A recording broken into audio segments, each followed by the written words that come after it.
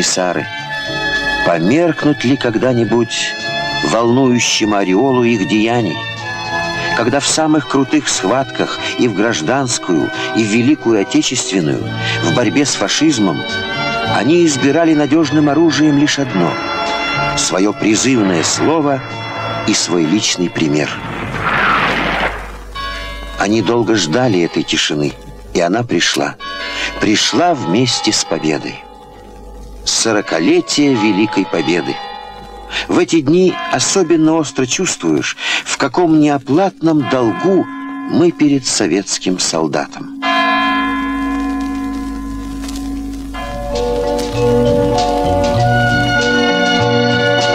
Это он, Василий Клочков, герой нашего фильма, сказал «Велика Россия, отступать некуда. Позади Москва». Он не стоял на параде Победы. Его уже не было в живых. Он один из тех двухсот политруков, что удостоены звания героя. Его имя стало легендой. Оно увековечено в памяти смертным, но победным боем за Москву в ноябре Грозного для страны 41 -го года. 16 ноября 41 года 28 панфиловцев во главе со своим ротным политруком остановили на Волоколамском шоссе 50 танков противника. Бой у разъезда Дубосекова вошел в историю Великой Отечественной. Всего 30 лет прожил Василий Клочков. Как и где накопил он все то, что заключено в одном лишь слове «герой». И за будущее дочки ухожу я на войну. 16 августа 41 года. До отправки на фронт созданной в Алмате 316-й стрелковой дивизии комдива Панфилова оставалось два дня. Вспоминает жена героя Нина Георгиевна Клочкова. В тот день, 22 июня, мы с Василием пошли отдыхать в горы. И, конечно, не знали, что уже началась война. Когда возвращались оттуда, из гор, уставшие, увидели, что большое скопление у репродукторов, просто на улице. И вот Василий говорит, знаешь, Нинок, ты иди потихоньку, а я побегу. Что-то, говорит, передают. Но он пришел домой и говорит, знаешь, Нинок, ты не волнуйся, но вот э, у меня повестка, меня призывают в армию. Но я ходил сам в военкомат, он говорит. Ну, понятно, что на сердце было. Хорошего, конечно, ждать нечего было. Война есть война. И сразу, значит, думаю, ох, а вернется ли? Москве было трудно. Москва ждала подкреплений. Враг рвался к сердцу советской земли. Захват Москвы любой ценой. Захват, невзирая ни на какие потери.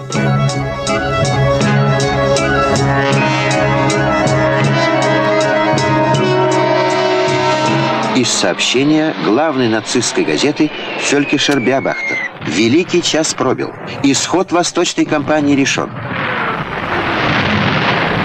Последние боеспособные дивизии Советов принесены в жертву.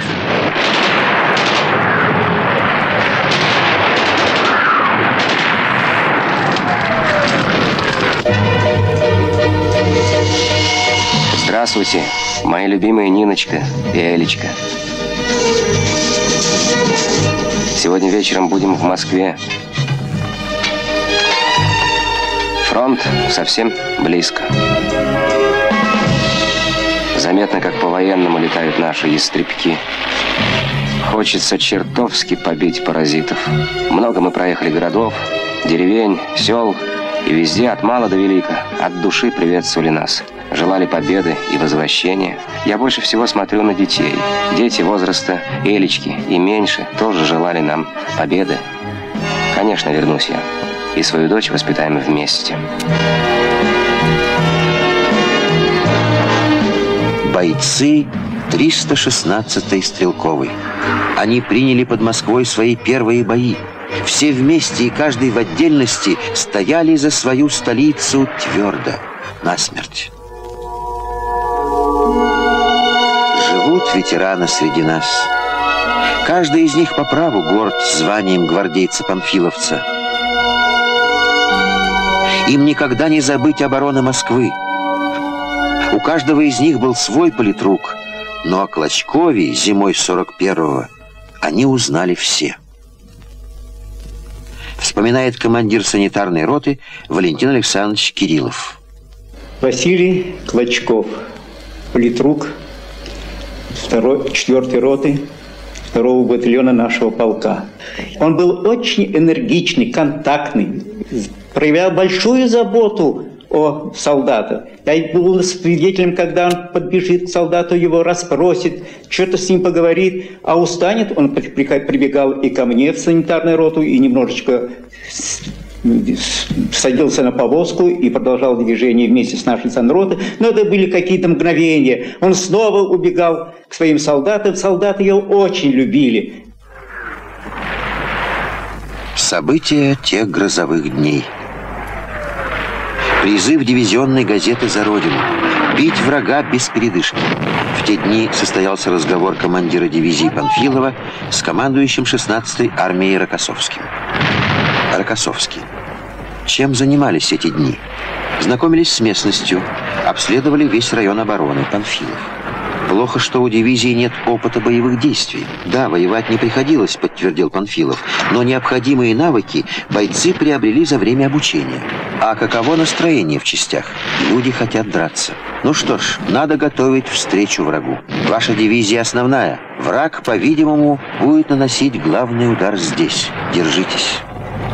Под Москвой фашистские войска сосредоточили половину своих солдат. Вражеская махина рвалась к столице.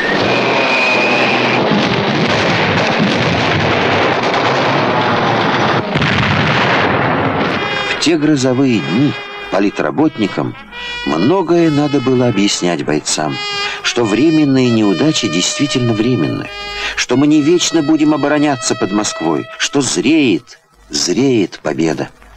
Милая жена и любимая дочь, ваш папа жив, здоров, неплохо воюет с фашистскими извергами.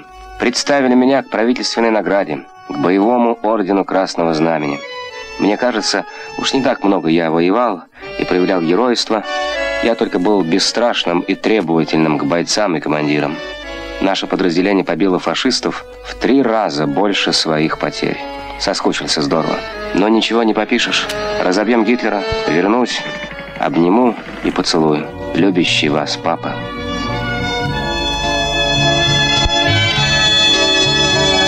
Не в первый раз они здесь, в Дубосеково.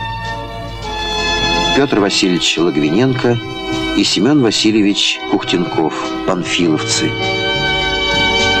С ними автор книг о политруке Клочкове Валентин Осипович Осипов – Александр Юрьевич Кривицкий, ныне известный писатель. В ноябре 41-го он первым вдохновенно и подробно рассказал в «Красной звезде» о бое в Дубосекове. Еще тогда он разыскал комиссара одного из полков дивизии Логвиненко. С тех пор, как я увидел Клочкова на партийном активе, это все живет во мне полным голосом. Он в своем выступлении заявил, что хотели фрицы завтракать в Волоколамске и обедать в Москве. А чтобы позавтракать в Волоколамске, они вынуждены были все части заменить, которые были разбиты. А чтобы пообедать в Москве, и в Крюково не только разгромили, а оттуда началась наша победа.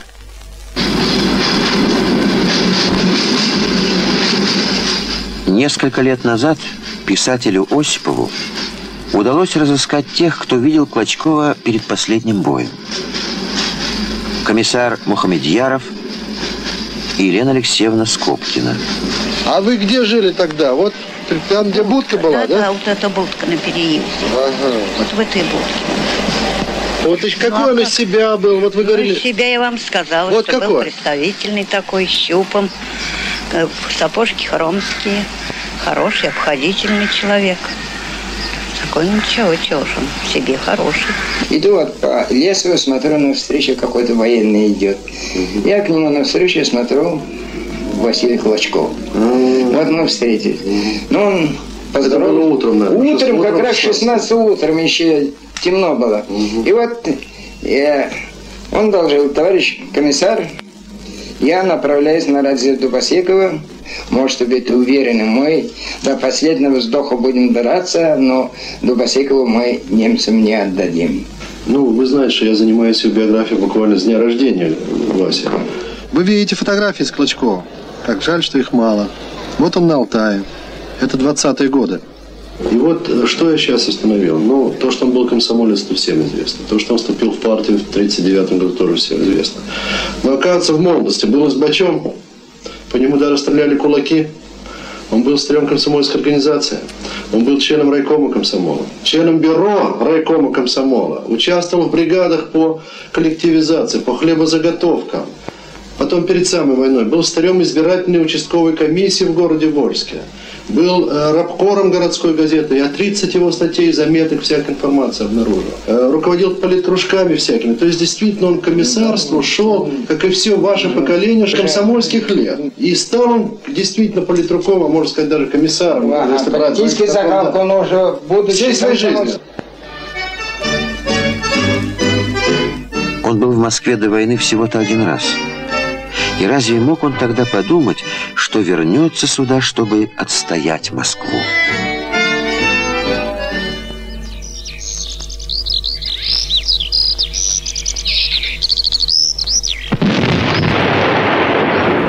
В это время меня считали погибшим. Из письма Клочкова домой. 16 октября. Операция «Тайфун». Гитлеровцы обрушились на Волоколамское направление четырьмя дивизиями.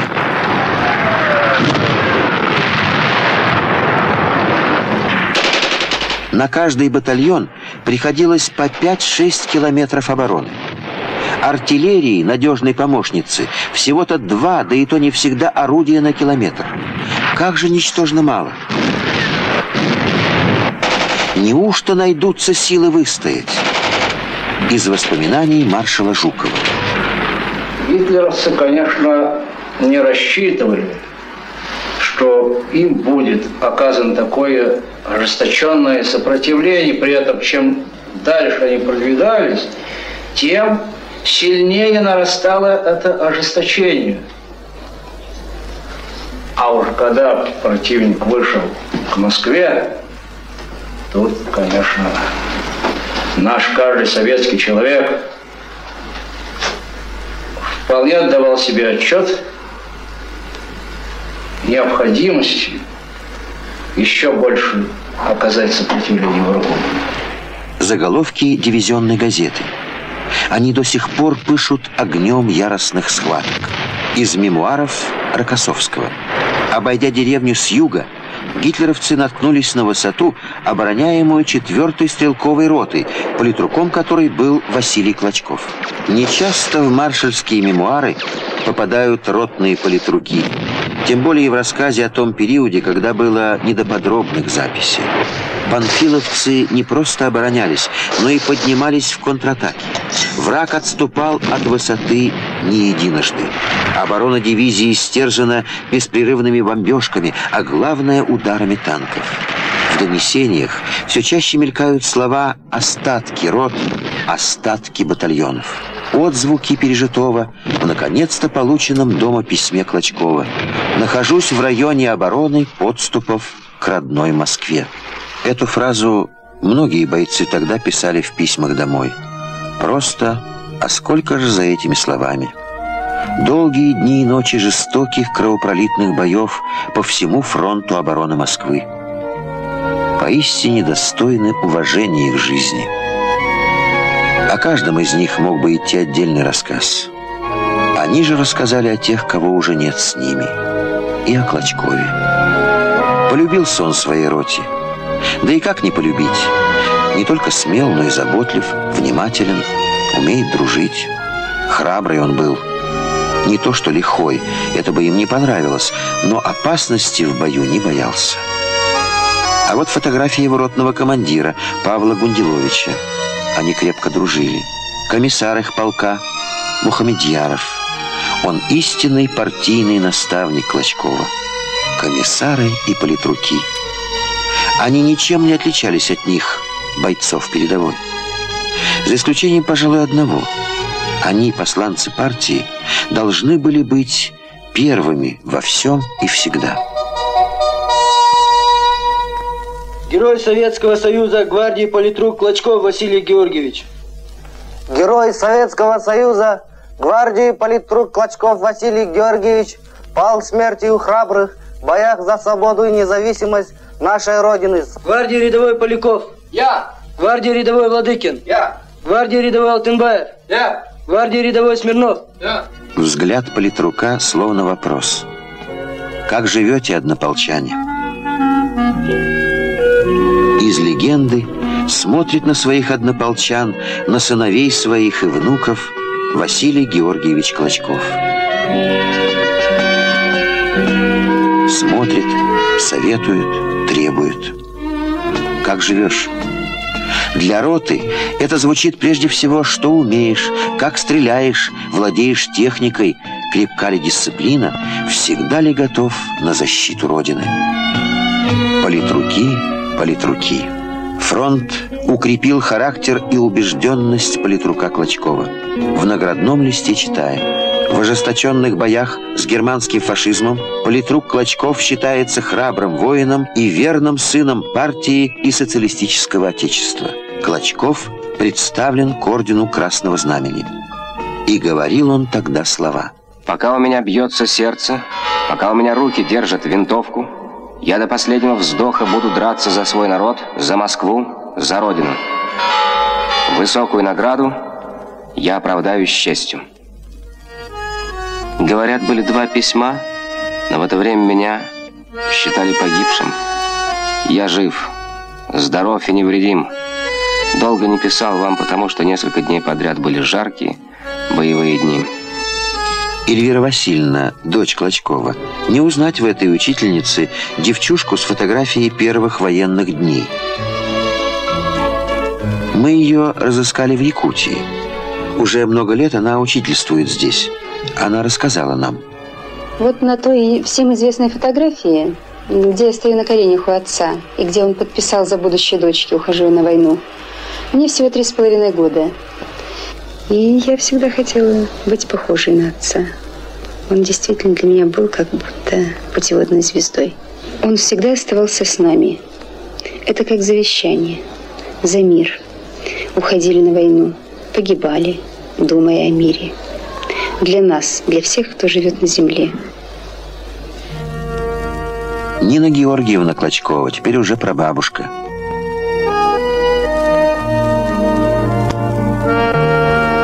Горе не сломило ее. Она медсестра с 50-летним стажем. Орден Ленина, медали, вехи ее трудовой жизни.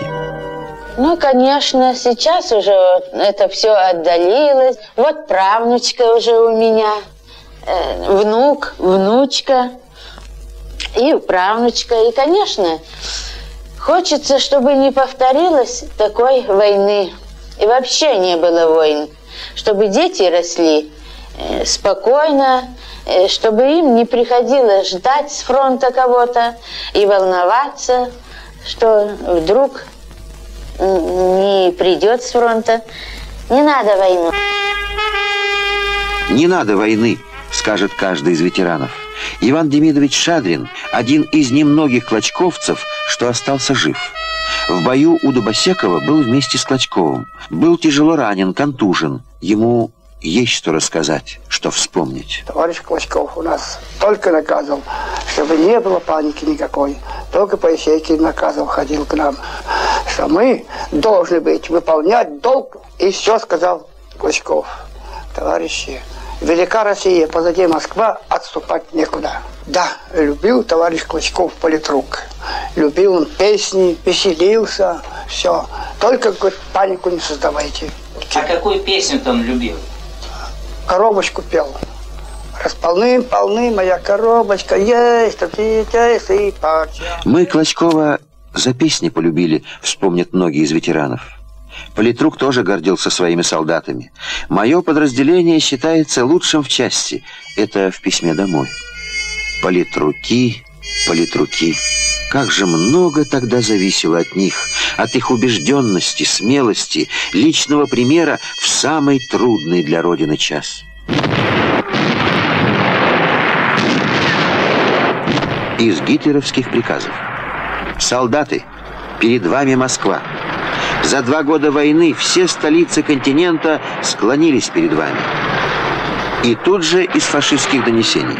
Все частные успехи в общем и целом ничего не значат. Мы застряли. Между тем русские выигрывают время. Это очень скверно.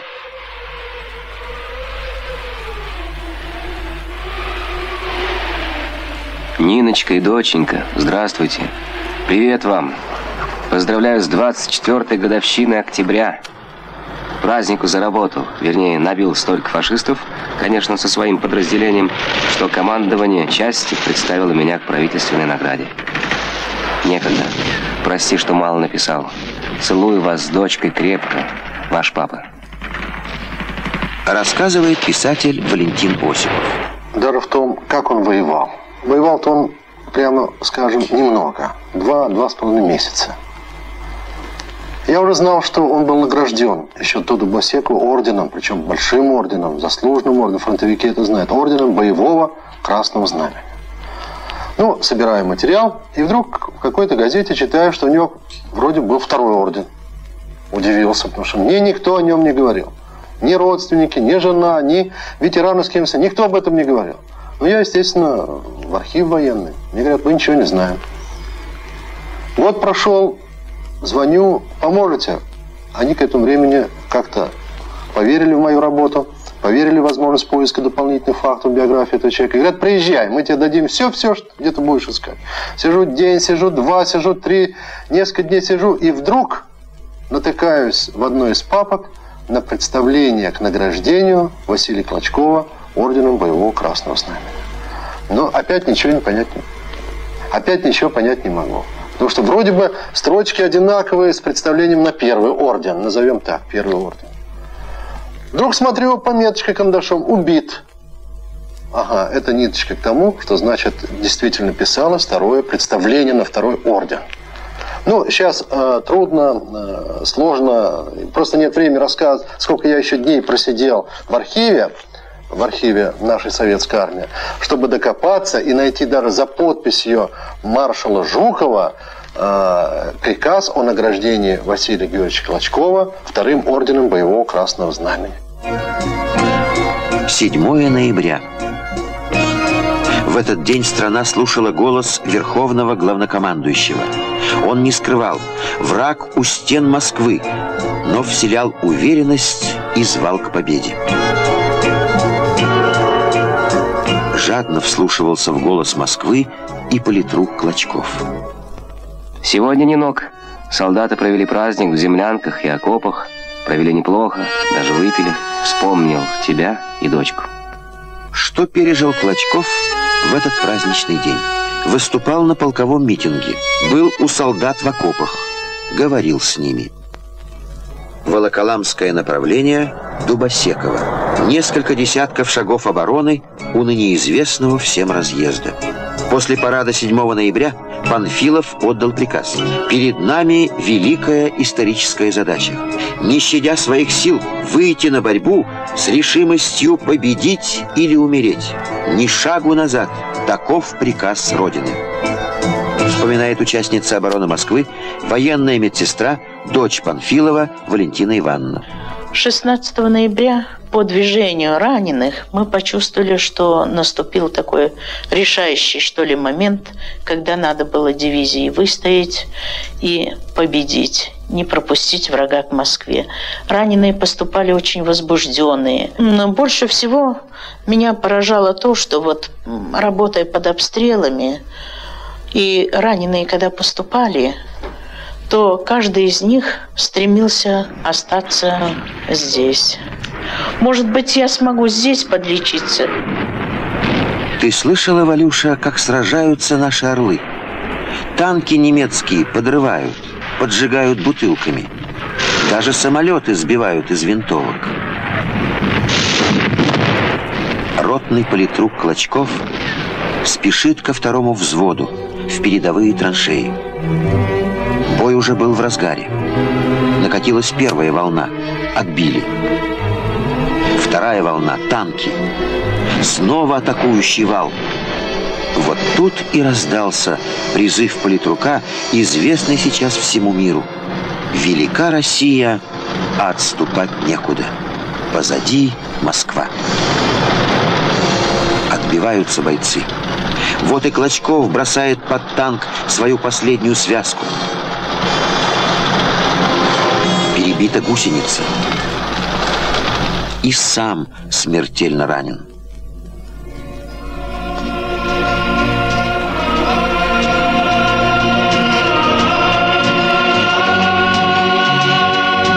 Они не дрогнули перед таранным ударом 50 вражеских танков и победили.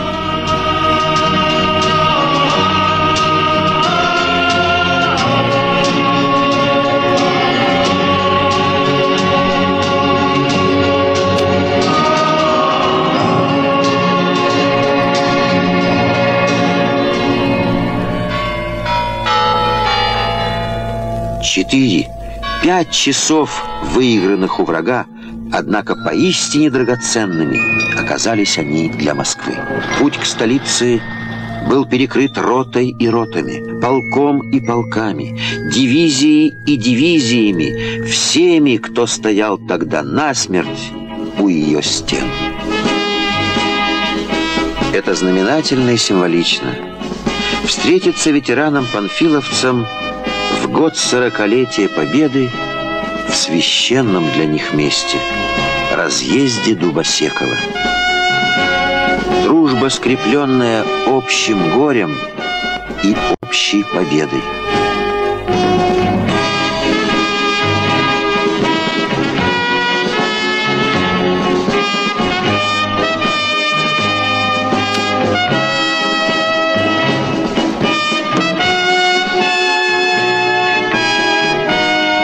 Зима, снова морозы, и снова их павшие боевые друзья рядом. И Клочков, вот он, впереди. Не довелось увидеть политруку мирных дней. Ведь не о войне думал наш герой, о мире, о мире для всех и навсегда.